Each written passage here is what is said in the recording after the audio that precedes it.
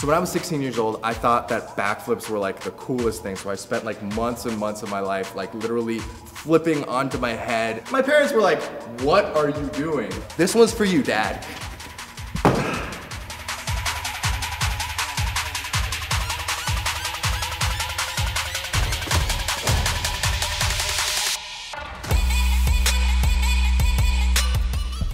What's up, Men's Health? This is Simu Liu. I play Shang-Chi in Marvel's Shang-Chi and the Legend of the Ten Rings. And I'm here to take you through my superhero workout. Come on. I mean, a lot of this movie is rooted in, you know, Chinese martial arts and Kung Fu. And, and of course, Kung Fu is like this big umbrella term that encompasses so many different styles from so many different regions of China. Um, so uh, we had experts in Tai Chi, experts in like Bagua and Hong Quan. Like there's so many different amazing styles and they all have their own movement and their own flavor. So it was such an incredible opportunity to learn so many different kinds. So obviously learning the martial arts is a big part of my training, but the other part of being a Marvel superhero is, well, looking like a superhero. So when we're building that superhero workout, that Marvel body, you know, it's really important for us not to sacrifice range of motion and explosiveness because uh, I gotta be able to throw a punch at the end of the day. So the workout that we're doing today is lots of high contrast dynamic movements that really prioritize explosiveness. So whether you're training to be a superhero or a martial arts master, or you're just somebody who wants to feel functionally fit, this workout is perfect for you. Let's go. All right guys, this is my trainer Bart over with Barbell Brigade. He uh, is the one that actually knows what he's doing. And uh, he's also the one that uh, makes me feel miserable about myself. So, all right, let's do this.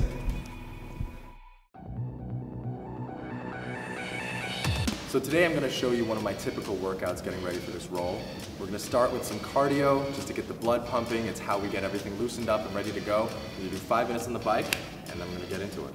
All right, so we're gonna start off with two contrast-based exercises. So we're gonna start by doing a traditional deadlift, but then we're gonna overclock the body and then do box jumps immediately following. So it's kind of like a superset. So you're basically tricking your body into thinking, oh man, we're preparing to do a full set of deadlifts, and then we're gonna go into box jumps, which is body weight only. So again, we're emphasizing that explosiveness. We're gonna take the weights away for our superset, and we're gonna just let the body do its thing. Second, along the same lines, we're gonna do a contrast workout with the sled push. So we're gonna do a sled push. We're again gonna trick the body into thinking that it's gonna prepare for a full set of a sled, and then we're gonna take the sled away, and it's gonna be body weight sprints uh, the rest of the way. We're gonna do some rotational core exercises, some wall slams that are different from your typical sit-ups. Um, again, we're emphasizing range of motion, we're emphasizing kind of being able to move, being able to fight, you know, um, for all those martial arts scenes that you're gonna do. All right, guys, we're almost done our Shang-Chi workout, but of course now it's time to sculpt that superhero body. So we're gonna start with some lat pull downs and finish off with some shoulder raises. Here we go.